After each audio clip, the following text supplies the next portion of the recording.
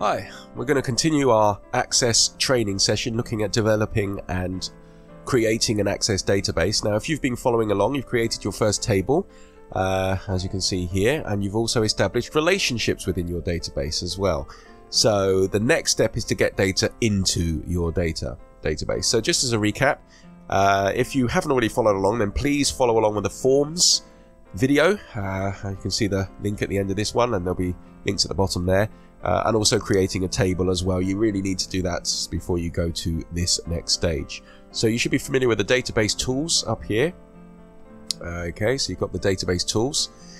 Uh, and as you can see there, we've also got our relationships window and I can see my relationships here. So hopefully you can see your relationships there. Now the problem is, is that we need to get information into our tables.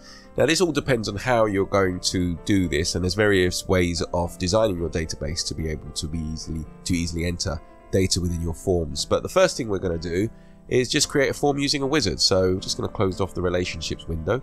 I'm going to go to create at the top of the screen here and then I'm going to click on form wizard here. So if you give that a click, form wizard.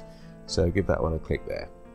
So in the form wizard box, as you can see, uh, you choose your table that you want to create your form out of. Now we want to create a, a table, a form from two tables. In fact, two forms. One form and a subform. So we're going to have a look at the data as well. So we've got some of the information here is actually superfluous. So uh, let's just have a look and see which information that we need to bring across here. So the first bit of information is in customers. We're going to bring all the fields across. I don't know if you see that now. I did that rather quickly. You click on that double-headed arrow there, and that brings all of the data across. So now I'm going to swap to my orders form. So here I have my orders form. So I've got a few bits of data there. Let me just zoom in so we can see what we're going to bring in there. I want to bring in order ID. So I'll need that one there, uh, especially later on uh, when I come to link this form with another form, like the order details. I'll need the order dates. That's fine. I'll also need the customer ID as well, so it knows which one to link to. Now, the product and the amount and the unit price, if you're following along, that's a bit superfluous because this is going to be on the order details form, so I can enter in people's products and the unit price, etc. So we're going to add that in a bit later. So let's just zoom back and we're going to add in order ID. We're going to add in order dates and I'm going to add in customer ID. And notice there, it's telling me it's customer ID from the table orders table, the foreign key there. That's good. Click on next. Now, how do I want to view my form? Well, I want to view it by subforms and the main form is going to be table customers. So click on next.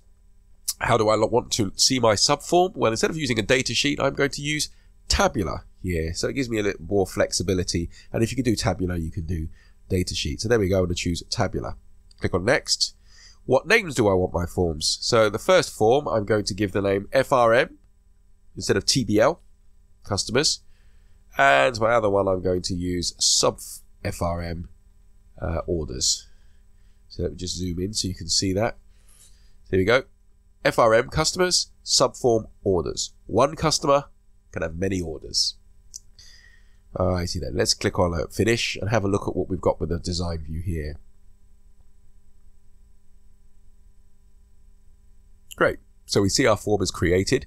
Uh, I can see Acme uh, Mickey Mouse and all of his address here. I can see the subform here and I can see all of the orders. One of the things I really need to check is if I look at these record things at the bottom, these record selectors I can use to navigate between my forms. Uh, I can do that. So I'm just going to click on the next record to see if my data changes here. That looks good. That's imagine. And the other thing I just want to need, need to check is the customer ID here. I just need to make sure that these two match up. And if they do, fantastic. I do not need customer ID. So what I can do is I need to design this form. So let's go into design uh, view and see if we can muck around with this form, make it a little, little prettier. Uh, just have to uh, excuse my aestheticness here. So maybe uh, it's not as pretty as you would like, but then you can adjust the form to your liking there.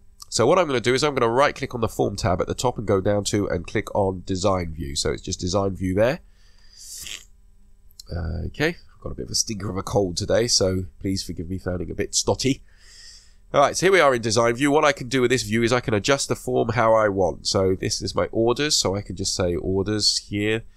I can give that as a name. I can use the little uh, dot, square dot in the top left hand corner to drag my field uh, label here and I drag my subform over here. I can adjust the width of the subform by clicking on and adjusting the width here.